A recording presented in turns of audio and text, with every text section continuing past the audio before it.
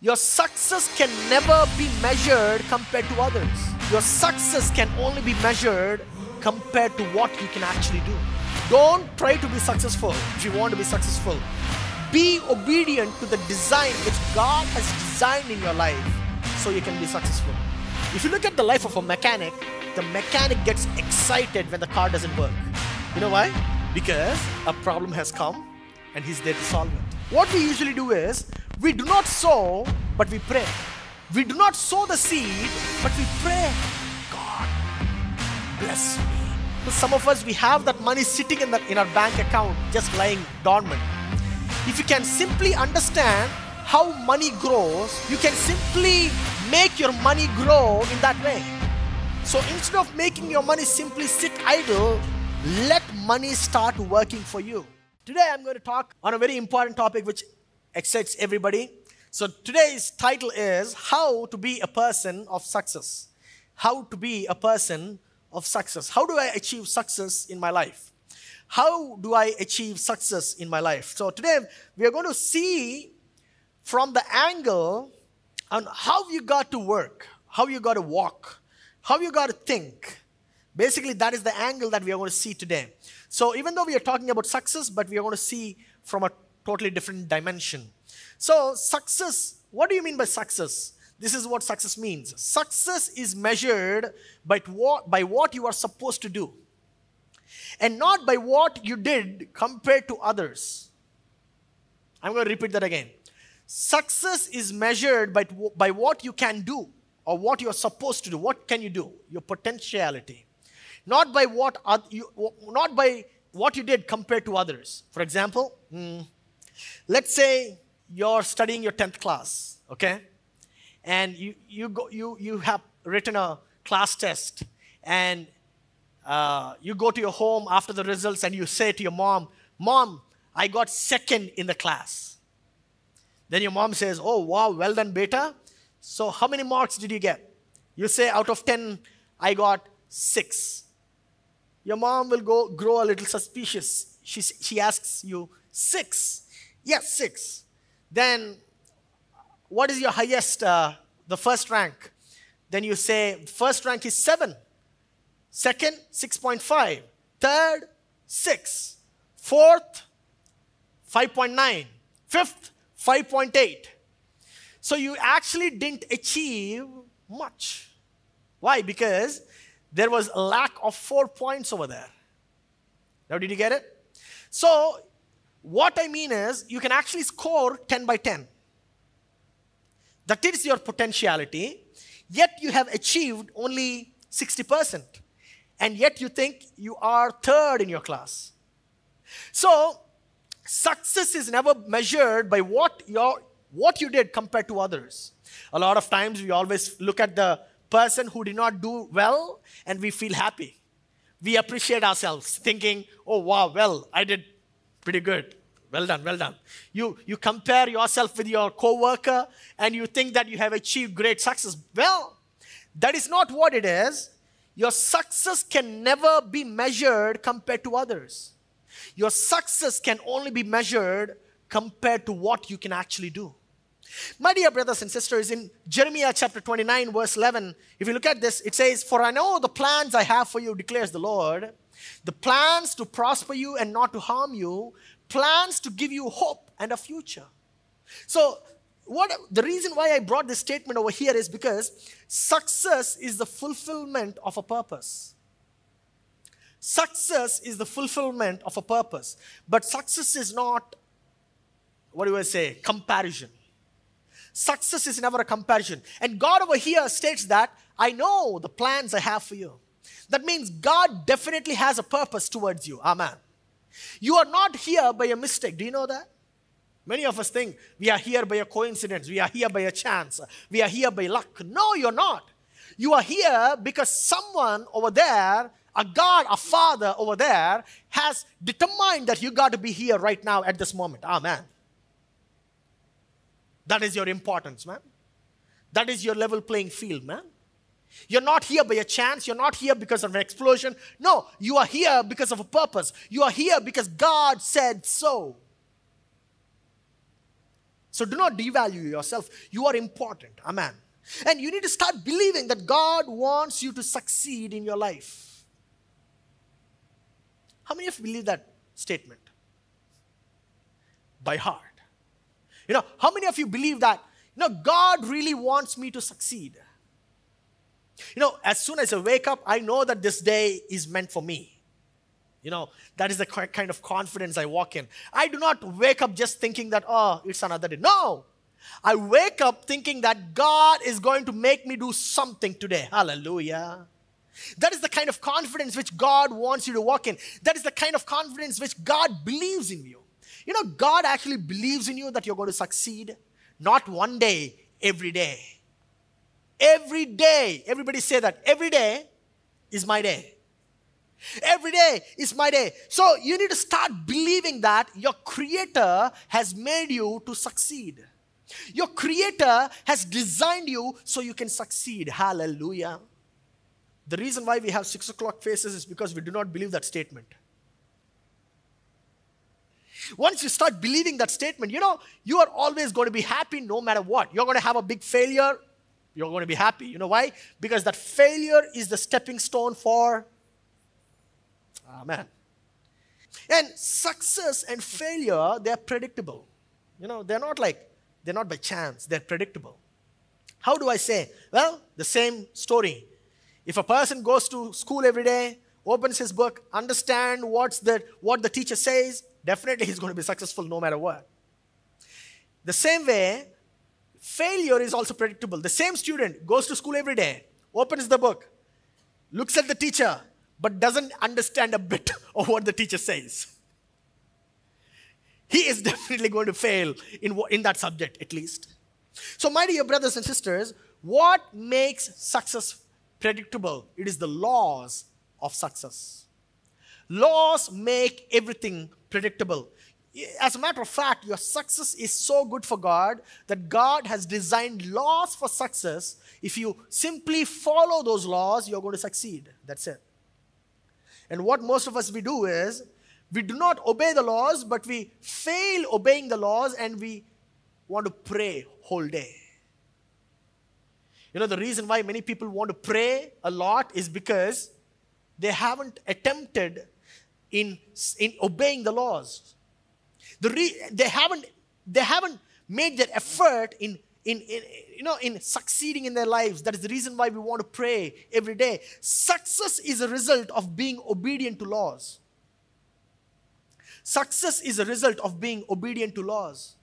My dear brothers and sisters, so I, I want you to understand this carefully today. Okay? I'm going to take it a little slow today so you can understand what I'm trying to say. Don't try to be successful if you want to be successful. I'm going to repeat that again. Don't try to be successful if you want to be successful. Be obedient to the design which God has designed in your life so you can be successful. Hallelujah. So, what gives you success? Being successful or being obedient? Being obedient to the laws which God has already placed in your life. That's my secret of success. If you look at uh, Ecclesiastes chapter 10, verse 10, this is what it says If the axe is dull, and its edge unsharpened, more strength is needed, but skill, that means wisdom, will bring success. Hallelujah. If the axe is dull, how long is it going to take you for, for you to knock down the tree? A lot of time. Let's say 10 hours, 12 hours. But you know what? If the if it was me, if the if my axe was was dull, you know what? I would spend two hours sharpening the axe. And the third hour, I would start knocking it down. The fourth hour, it is done. How many hours did I save? At least, at least seven, eight hours. My dear brothers and sisters, a lot of us, we are lacking in wisdom. This is written by Solomon. Better sharpen your axe. Amen. Better sharpen your axe. When was the last time you picked up a book and started reading it? I don't know, brother. I don't even know. I stopped reading when after my 10th class, uh, after my degree. Stopped reading, stopped. God says, no. That is the reason why it is taking longer for you to do things. The reason why it is taking longer for you to do things is because your axe is not sharp enough. Life is not about working hard, life is about working skillfully. Hallelujah. Life is about working swiftly. Everybody say swift. Oh man, I love the t- word swift. You know, swiftly is what you got to do. You know, working with knowledge and wisdom will give you that swiftness. Working with knowledge and wisdom is what gives you that skillfulness. Most of us, we are not skillful. That is the reason why we need counsel. We need the help of others. You know, the reason why you go to your manager when you have a problem is because mm, this is dull. You got to sharpen it, man. You got to sharpen it today. You know, life is not working hard.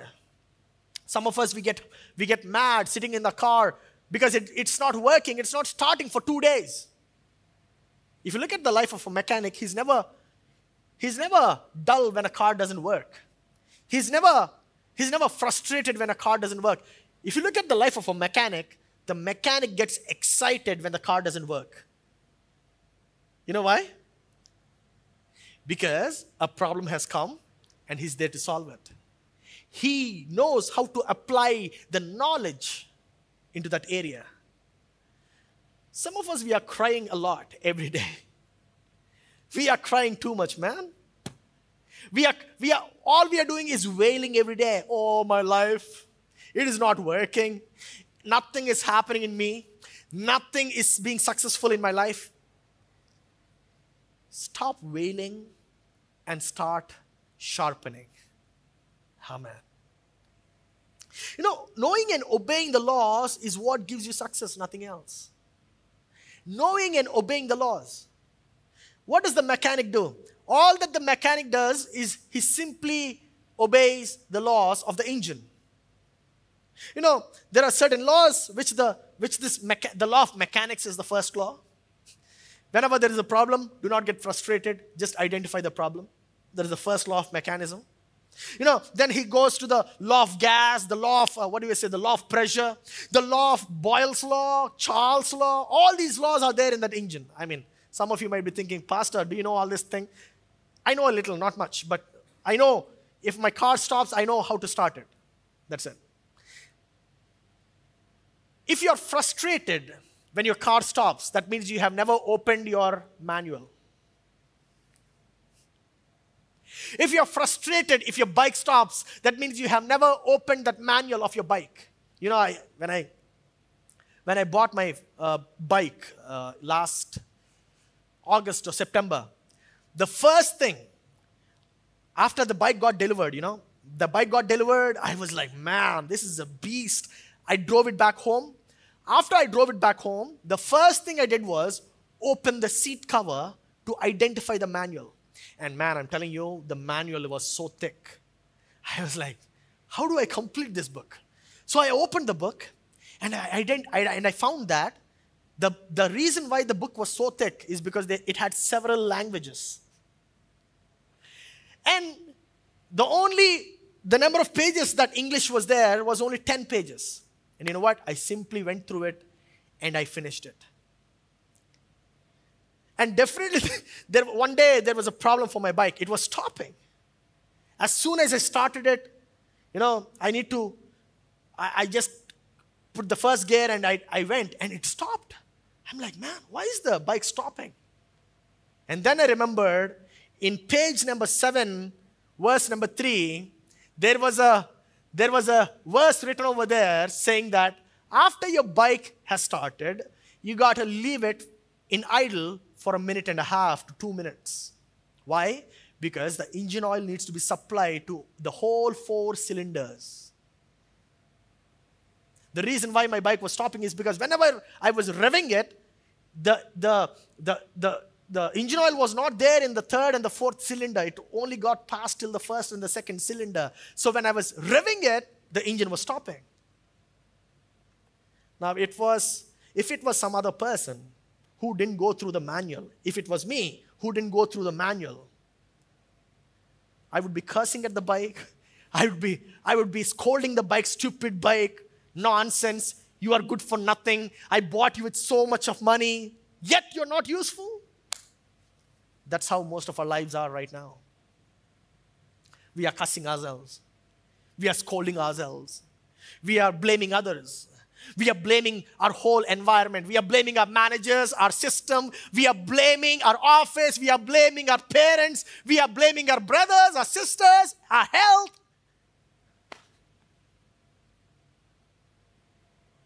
Come on, church. Better stop blaming and start obeying the laws. Amen. You know, everything that everything that we have around us, it obeys the laws.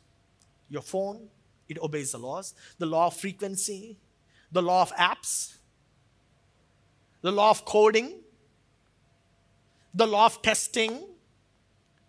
Everything obeys the laws. Your phone obeys the laws, your clothes obey the laws, your spectacles, they obey the laws.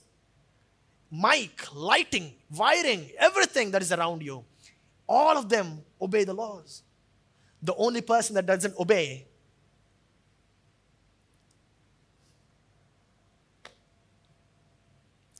And you know what? Success is a process. It is not a destination. You got to better understand that. Success is not a process. I mean, it is a process, it is not a destination. Many of us think that's the reason why you never need, you, you should never have a, what do we say, a monetary success. If you start thinking like, uh, most of us, this is, this is the kind of, uh, this is what we think success is. Having a, having a Mercedes Benz is a success. No, Success is never a destination. Success is only a process. Having a Benz is not, a, is not successful. It is just a byproduct of success. Are you understanding? Having a big house is not, a, is not successful. It is only a byproduct of being successful. So, success is moving in the right direction than coming to a destination. So, so you never arrive at, a, at success. All you do is you go through success. Hallelujah. That is the reason why I say every day is successful for me. Even though I have failures, I'm still successful. Amen. So no failure can decide your fate. No failure can, can tell you that you are a failure. My dear brothers and sisters, do you want the secret secret of success? Do you want it? Only if you want it, I'll give it to you. Okay, ready? All right, open your Bibles. Joshua chapter 1, verse 8. Joshua chapter 1, verse 8. If you have a pen or a pencil, just underline verse 8. Keep this book of law always on your what do you mean by always on your lips? That means always on your mind, always readily available. Keep this book of law always on your lips.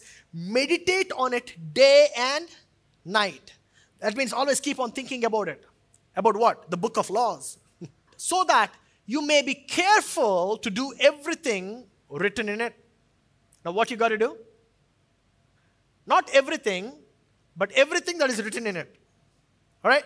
So, you will do everything written in it, then you will be, read that, prosperous and successful. That is the only secret sauce. The only secret sauce to success is very simple. Oh, Pastor, I need to know Kathakali, Bharatanatyam, that. There's nothing, brother. Nothing, sister. All you got to do is just meditate on the laws and obey the laws. Just have it in your mind, and you are going to be successful. Amen. Now, prosperity comes by understanding and obeying the law. There is no shortcut to success. We always want the shortcut. Sometimes people come to me, Pastor, tell me your secret to success. I say, my secret to success is obeying the laws. That's it. My secret to success is obeying the laws. You know, when I was a child, I wanted to go against the law of gravity. So I tied the Superman towel behind me and I jumped from first floor to ground floor. By God's grace, there was sand beneath. That's the reason why nothing happened. Otherwise, I wouldn't be standing over here because my legs would break. I thought I would fly like the Superman. No, I didn't.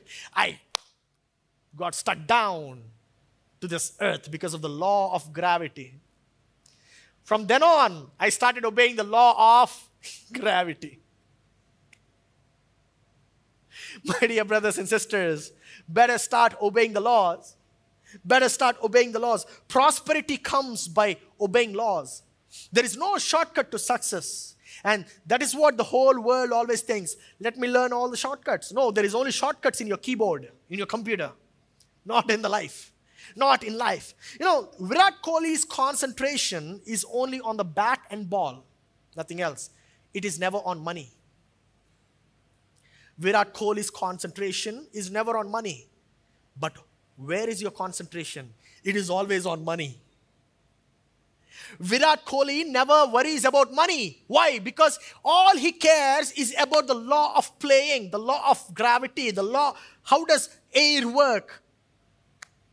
Because according to the air, the ball flows. How does the pitch work? How does the surface work? The law of surface. My dear brothers and sisters, you are worrying about the wrong thing. You are worrying about money. And God says, do not worry about money, meditate on the law. अरे यार मेरा office में कुछ नहीं हम कमा सकते हैं same that's not how Virat Kohli thinks Virat Kohli never worries about the money. All he worries is about how does the ball bounce on different pitches? How do I pick, select a shot when the ball comes? My dear brothers and sisters, all you got to do is worry about how to solve a problem that comes into your life. Turn to your neighbor and say, Do not worry about money. It is going to come. Definitely. 100%. Look at me. I never worry about money. Neither Monday, nor Tuesday, nor Wednesday, nor Thursday, nor Friday, nor Saturday, nor Sunday. You know, when, when I pay uh, to all my employees in the office, not after the month starts, before the month ends. all our payments are done, even before the month ends. Hello? My dear brothers and sisters, you better understand this statement. If you worry about money, never, money will never come before you. I mean, money, money will never come to you.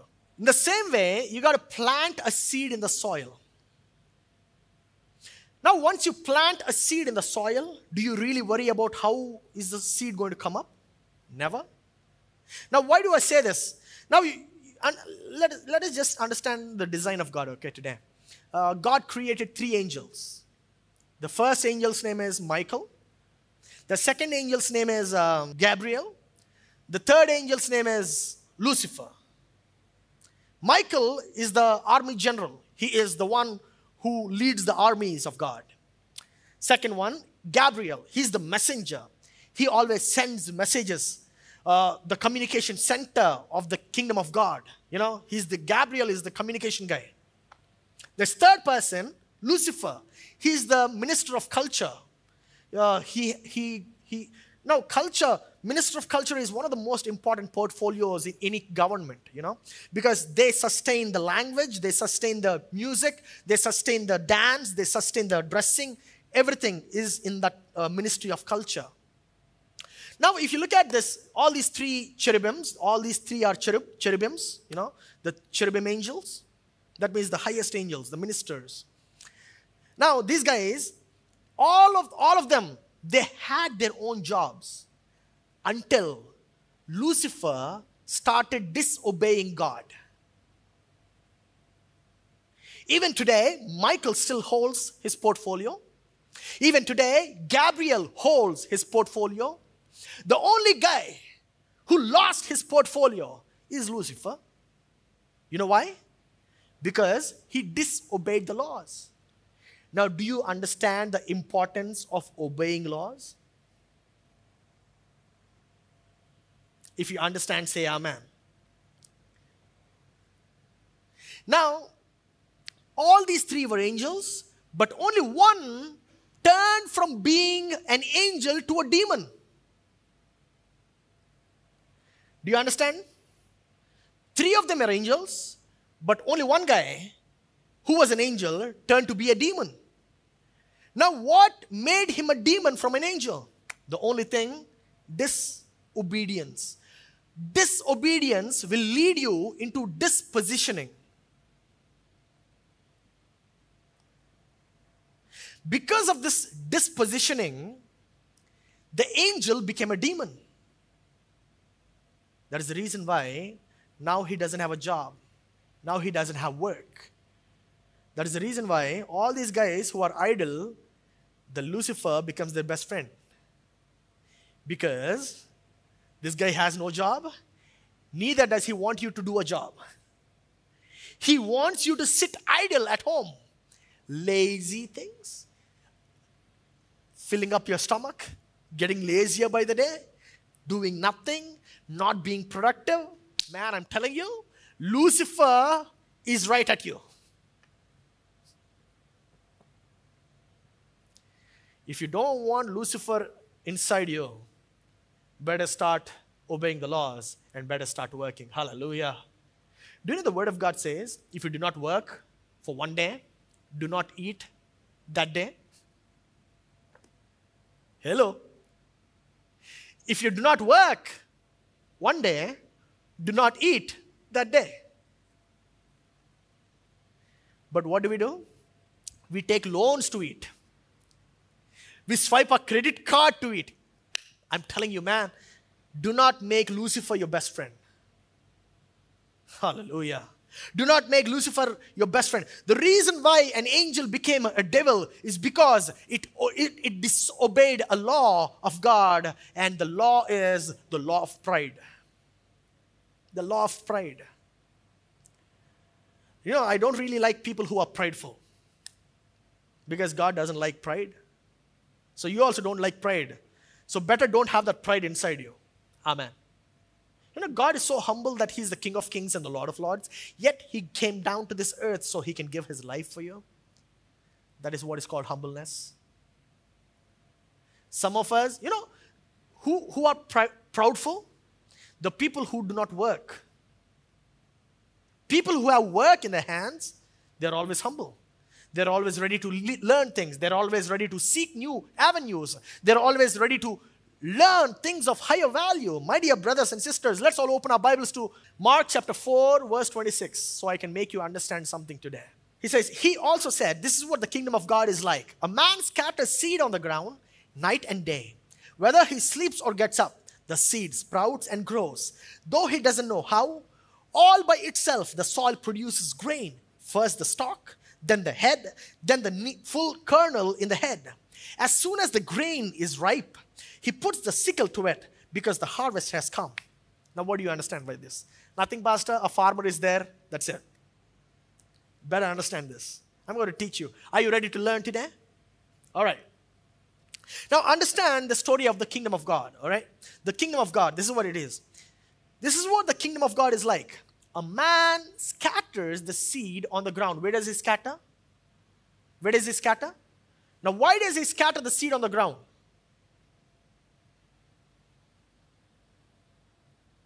Simple, because that's where a seed will be the most fruitful.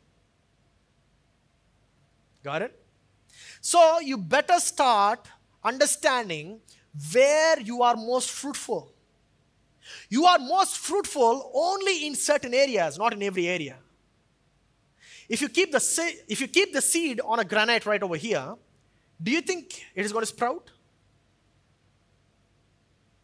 If you keep the seed in your hand, do you think it is going to sprout? No.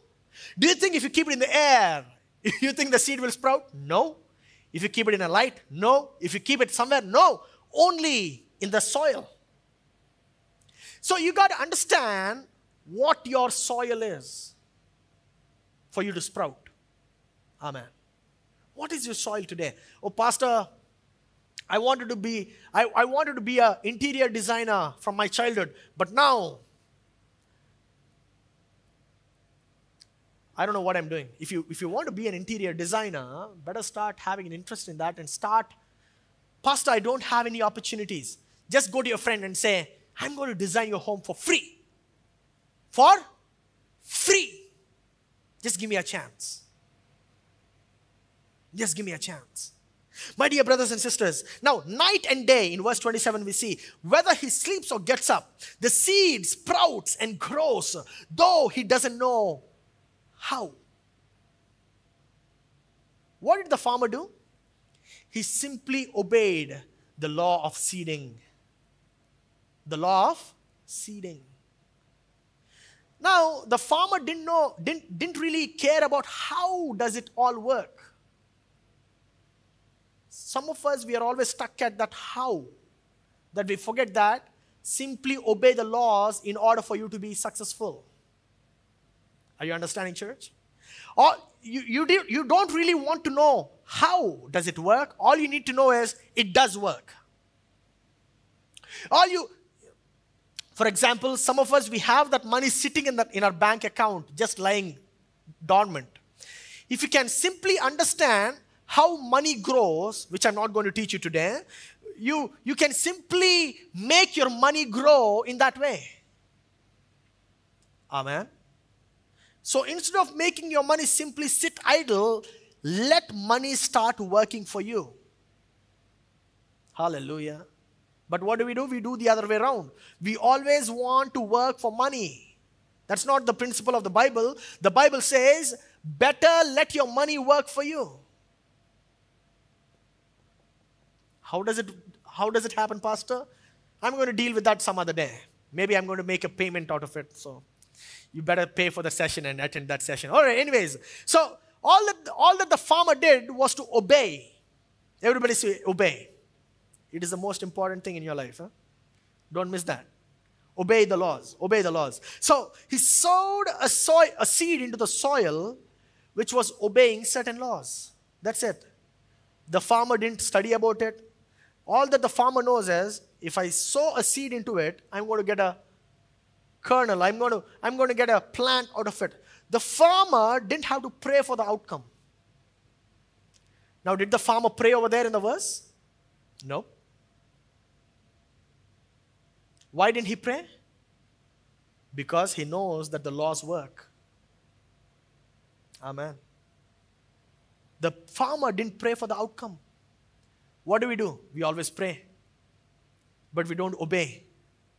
So, praying without obedience is canceling the law which should work for you. That is the reason why the Bible says it is much better for you to obey. Obedience is much better than sacrifice. Hello. It's for you. Obedience is much better than.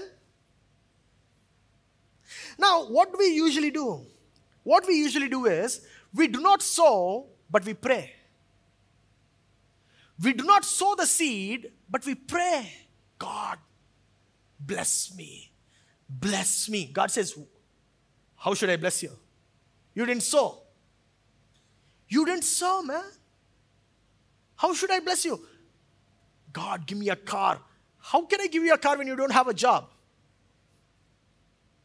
God, give me a bungalow. How can I give you a bungalow when you do not, do not care of that rent, when, when you do not take care of that rented house? My dear brothers and sisters, the farmer didn't have to pray for the outcome. Why? Because he obeyed the laws. You also don't really need to pray for the outcome when you obey the laws. You only want, to, want that miracle. You only want that, I want that miracle. I pray for a miracle. I want, you go to pastor after pastor after pastor, church after church after church, expecting a miracle. God says, No, you're a fool. I don't, know, I don't do miracles just like that. I do a miracle only if you sow. Amen. Some of us, we do not put any kind of efforts towards your wife and you expect good respect from your wife. God says, I'm not going to make her respect you. Why? Because you're not putting any effort towards her. My dear brothers and sisters, you are attracted towards success, but you are repelled because of the obedience that it takes in order for you to succeed. Most of us, we are always repelled by the sacrifice that it, it, it takes. I'm talking to you today. You don't pray for your bike to start after you fill the petrol, right? Do you, do you pray, oh God, let this bike start because I have filled the petrol? No. If you know that your bike is in empty, all you got to do is refill it up. Refill it up. You know, once I and my brother, we were going on a bike to do ministry. I was a child. I think I was in my, so I was in my sixth class. So we were going in this dark, dark uh, village. There was no light. There was nothing. And I don't know what happened. All of a sudden, my brother, he hit something. I didn't know that he hit something. I knew that I was on the road. I was on the road. I didn't know what happened. I don't know where my brother was. There was no cell phone, nothing, no light, nothing. Even my even the, the scooter didn't have a light. I didn't know what happened. I was on the road. All I did was I shouted for my brother, Anna, where are you? Then my brother said, I'm right over here. Wait, just don't don't shout. Wait, just don't shout. I don't know what I hit.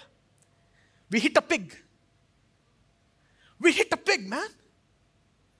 That, that wild boar, it was crossing the road. And we didn't have a light. It was pitch dark. I didn't, I mean, we didn't know that the light was not working. You know, when we started, it was around 5. By 6.30, it was pitch dark and we were in this village. We didn't pray for grace of God, grace of God, please come down and take care of us. No. All we did was we searched. We searched for that scooter. We searched where the engine was coming, the sound was coming from the engine. And somehow my brother came to that place. We picked it up and we started it. And then the light started working. Hallelujah. The light started working once the scooter fell down. That's when we realized that we hit a pig. The pig was there, right over there, looking at us.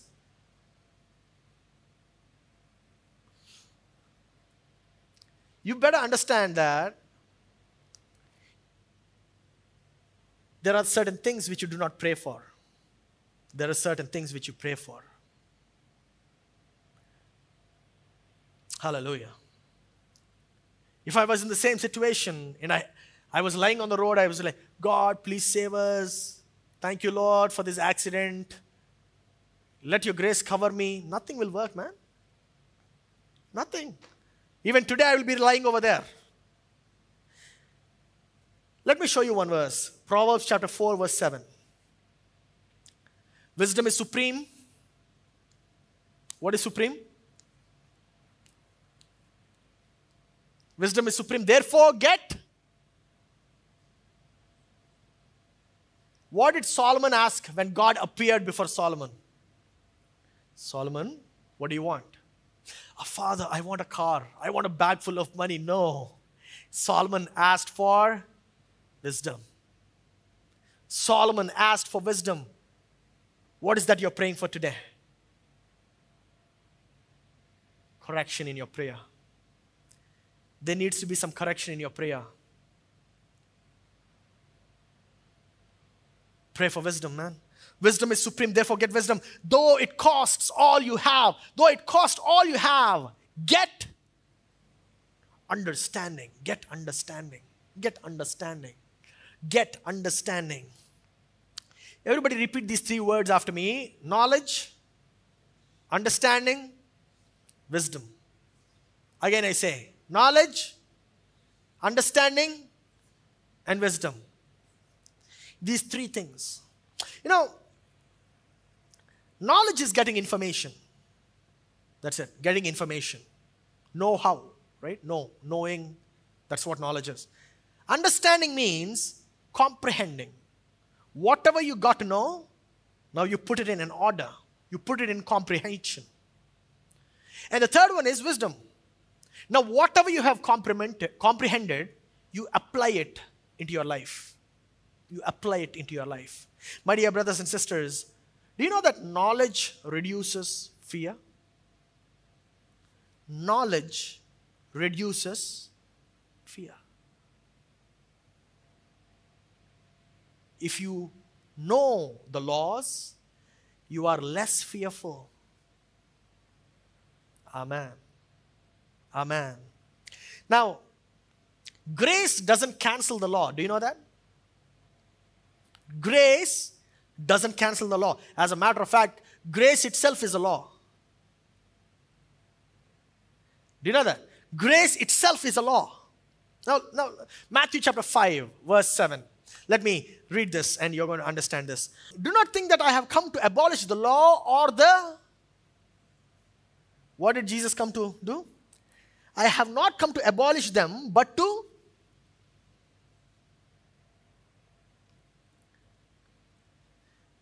Maybe your perception about Jesus was wrong till now. This is the real master. This is the real deal about Jesus. Jesus said, I did not come to abolish the law the prophets. I have come not to abolish them. Twice he said, but to fulfill them. But to fulfill them. For truly I tell you, until heaven and earth disappear, not the smallest letter nor the least stroke of a pen will by any means disappear from the law until everything is accomplished. Until everything is accomplished. Therefore, anyone who sets aside one of the least of these commands and teaches others accordingly will be called least in the kingdom of heaven. But whoever practices and teaches these commands will be called great in the kingdom of God. Hallelujah. That is the reason why I always teach the principles of God, not the grace of God. Grace of God is always there, but grace of God doesn't really change your life. If some of you who have come for the second service, you know Brother Seshu. Last week he told a testimony saying that when I came to this church, my salary was 14,000 a month. 14,000, one four.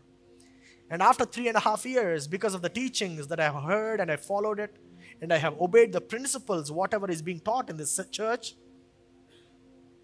he said, Now my salary is the last salary that I've drawn is two lakh forty thousand in three and a half years. He didn't pray for it.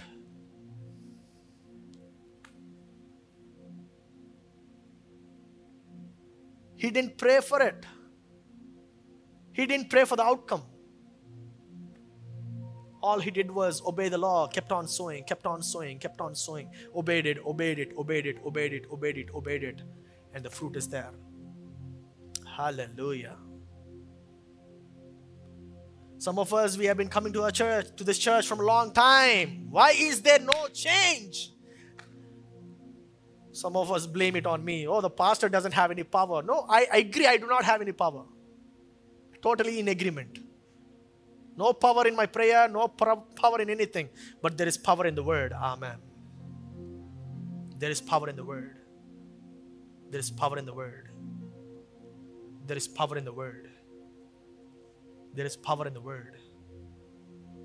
If you obey the word, understand it, obey it, I'm telling you, you're going to reap benefits out of it.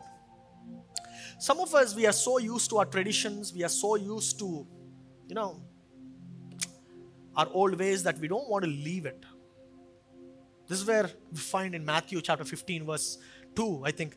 Uh, we, yeah, 2 verse 2, this is what it says.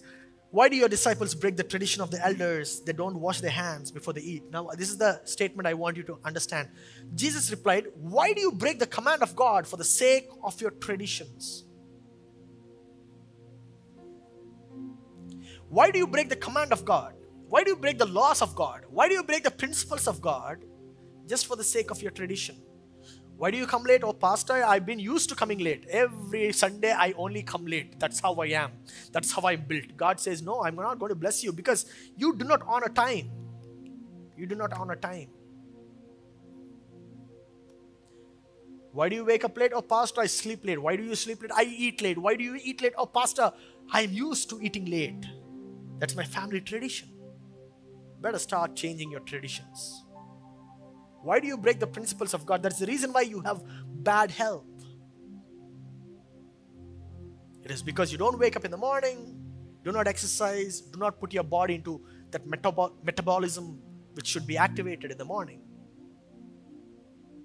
That is the reason why you have many, many diseases which are piling up one on the other, one on the other, one on the other. And yet you pray, pray God, heal me. God says, I cannot heal you without you putting the effort towards it. Let's all stand onto our feet. let us just spend some time in prayer today. Ask God for forgiveness. God, forgive me. I want to change from today. I want, I'm going to start obeying rather than falling into grace. I want to obey the laws which you have made, the principles which you have kept for me. I'm going to start following that. Are you obeying the laws or merely following the rules that is set by the society? Just understand that. Are you following which God has designed for you, or are you only following what the society wants towards you? You know, purpose, it lets you know your destiny. Perception is what gives you your vision. Potential is what determines your ability. Passion is what gives you the desire. Principles is what sets the laws. Planning is what determines the strategy. People is what determines the influence. Persistence determines commitment. Are you committed today? Perseverance determines dedication. And prayer determines how spiritual you are. Understanding the deeper meaning. That's what prayer is. I want you to start asking for forgiveness. God, forgive me. I have been in the wrong perception, in the wrong mindset. Today, through this message, my eyes are open. My ears are open. Ha.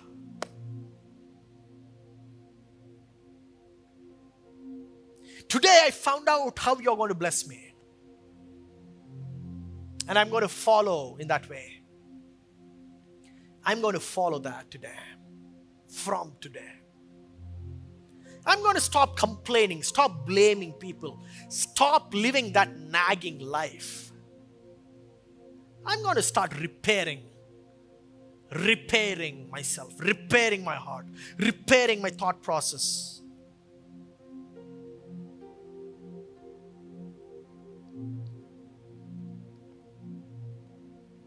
Let me be dedicated, O Father, in what I believe. Let me let me understand your mind today. Let me understand your mind today. That's what I am after. That's who I am after. I'm after you. I'm not after your hand, I'm after you. I'm after your mind. Mighty Father, we thank you for this day. We thank you for your blessings. We thank you for your mercy. We thank you for your grace. Above all, we thank you for your principles, your laws, where we know that if we abide by you, if we abide by your thought, if we abide by your laws, by your, by your principles, of Father, you're going to bless us. The kingdom of God is always there. The kingdom of God is always there, ready to bless us, oh Father. Lord, we thank you for giving us grace where we are, we are able to see things clearly, better way. We thank you for your mercy where we are able to understand things which, which we never understood before.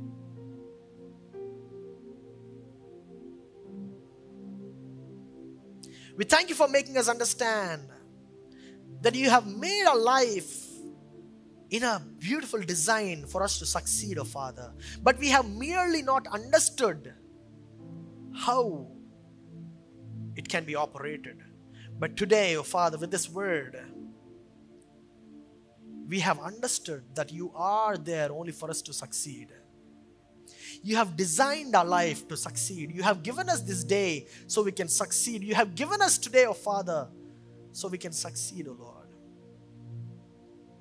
We thank you for your blessings, for your mercy.